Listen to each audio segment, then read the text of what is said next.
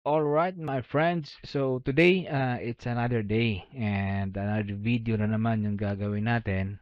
So yung pag-uusapan natin today is kung paano bumili ng SLP, USDT uh, sa Binance account niyo using your GCash. Okay? But uh, before we start, I just want to reiterate lang, okay, na dapat yung Binance ninyo at saka yung GCash account niyo is dapat fully verified para maiwasan yung limitation sa mga transactions niyo. Okay? So, let's jump into it. So, in this uh, dashboard, makikita ninyo, no? Na open ko na yung Binance account ko. Ito yung Binance dashboard ko. And, uh, yung pipiliin nyo lang dito is click nyo lang yung uh, trade, tapos P2P. Okay. Right after nyan, uh, make sure na nakaselect yung buy. Okay. Okay. Uh, saglit. Uh, so after nyan, i-click nyo na yung buy. And then notice guys na meron kayong options dyan. No? Marami kayong pwedeng bilhin. No? May USDT, BTC, BUSD, uh, Ethereum, at iba pa. Okay. So dito sa baba, uh, palitan nyo yung CNY ng PHP. After nyan, uh, enter nyo rin yung amount na gusto nyong bayaran sa merchant ninyo. And in my case, uh, it's 5,000. Tapos, pwede nyo ring i-filter yung mode of payment niyo. Okay, so as you can see, pwede kayong magbayad ng uh, GCash or bank. Paymaya, it's up to you guys. But for today, gagamitin natin yung GCash. So, GCash. And then search. And marami kayong option na pagbibilhan. Okay, so it's up to you guys kung saan kayo bibili or saan kayo komportable.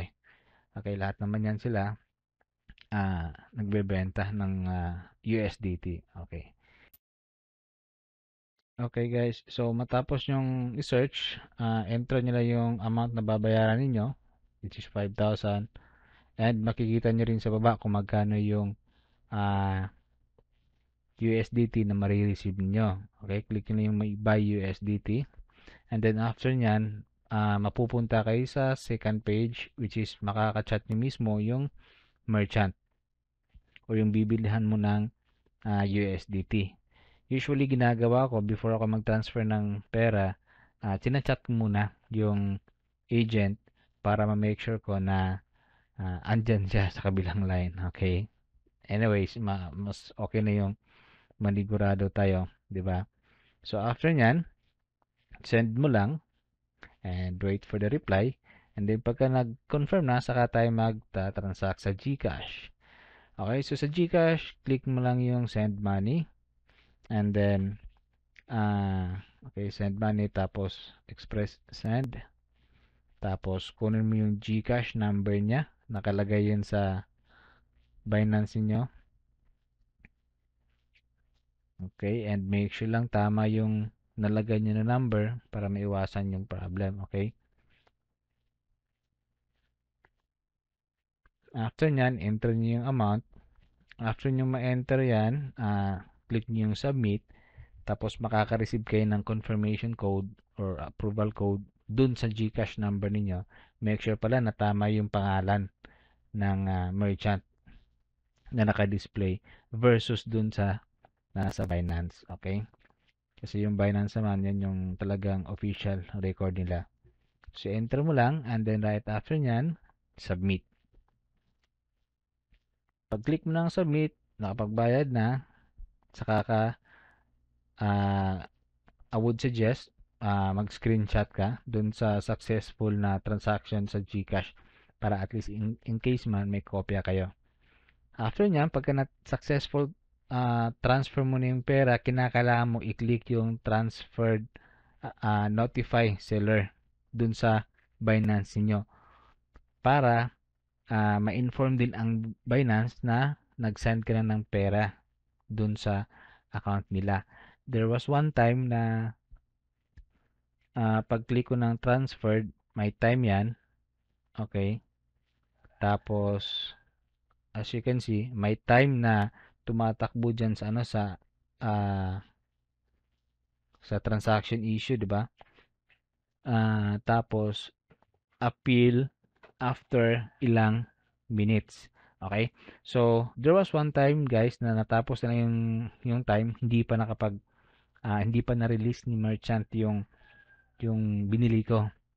So automatically yung uh, magi-intervene yan is si Binance na mismo. So marireceive mo pa rin yung ano, yung uh, binili mo. Okay? Kinakailangan mo lang i-click, uh, kinakailangan mo lang i-click yung appeal. And then right after nyan, uh, proceed lang tayo, inform mo lang si merchant na okay na. And then, mga ilang seconds lang, pagka na-check niya na, na-receive niya na rin yung payment mo, uh, automatically, uh, i-release niya naman na yung USDT. Okay, in this case, okay na, nag-text na si Binance na naka-receive na ako ng, uh, I mean, na-release na yung ano, yung transaction. So, naka-release na ng 98.05 USDT.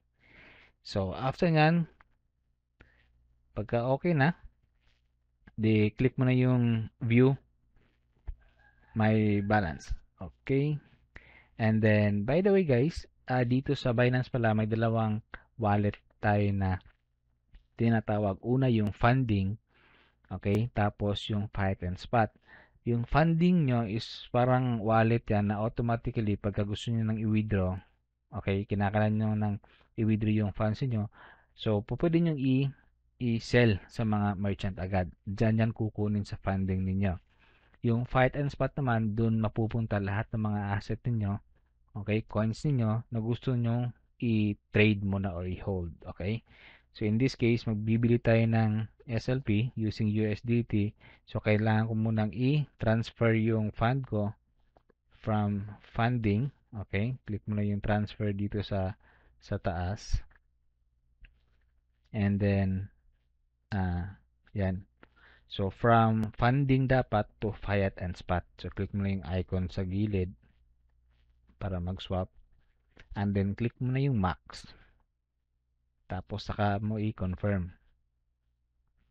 Pag-confirm niyan, uh, pag-confirm nyo, guys, uh, pupunta yung funds niyo dun sa fiat and spot. Okay, pagka nasa fiat and spot na yan, okay, tingnan nyo muna, and pwede na kayo mag-trade. So 98.05 goods. Okay, so punta kayo ng trade tapos punta kayo advance. Doon sa upper right, uh, select nyo lang SLP USDT kasi USDT yung gamit natin. So USDT yung ipapambili natin ng SLP. Punta kayo sa baba, doon tayo sa buy SLP, wag sa sell. Okay, click niyo yung market. Pagka market yung pinili nyo guys, meaning to say, kung magkano yung SLP ngayon sa market, yun yung magiging presyo ng SLP. Okay? Yung limit naman, iba yun sa sa market na option. Kasi yung limit naman, ikaw yung magsiset kung magkano uh, kung magkano yung SLP magkano yung ASP, ASLP value na bibilhin mo. Meaning to say, uh, say for example, in this case, yung value ng SLP is nasa 1.89 o 0.87. E gusto mong bumili ng SLP pagka mag-reach siya ng 1 peso. So, limit dapat yung gagamitin mo. So, for now, since nagmamadali tayo, and uh, market yung pipiliin ko. Okay? So, ubusin ko na lahat ng USDT ko. So, yun yung marireceive ko na SLP. But depende pa yan sa actual na pagbili ko. Okay? Yan. Tapos na. So, punta ka ng order history. Yun yung na-achieve ko lang na SLP or yung na-receive ko lang na SLP during that time na pag-click ko ng uh, hit ng buy. Okay? Kasi every now and then, every second guys, nagbabago yung uh, price niyan. So, in this case, nabili ko ng 1.87 yung rate ng SLP. Okay? So, after nyan guys, punta na kayo ng uh, Fiat and Spot under wallet pala. Okay. And then, expect nyo na na-add yung bagong binili nyo dun sa existing nyo na SLP. Kung meron na kayong SLP. Alright. So, ganun lang kadali guys. And, uh, kung may questions kayo, you can ask me. Uh, comment nyo na lang down below. And uh, of course, don't forget to subscribe, like this uh, video, and uh, click the notification bell para at least may, may inform naman kayo every time na may bago ang upload, uh, upload ako. Alright?